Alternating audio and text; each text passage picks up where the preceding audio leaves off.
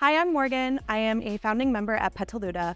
I've been doing hair for about five years now. I was super excited to join this team at its foundation because I have a background in startup world and venture capital and was really excited to see a salon grow and become what it is based on Alexander's vision. My favorite things to do are dimensional color on both blondes, brunettes, and I also have a love for redheads. I love doing any cut from long layers up to a short bob outside of the salon. You can find me hanging out with my dog, my little golden retriever Cora. She is my pride and joy.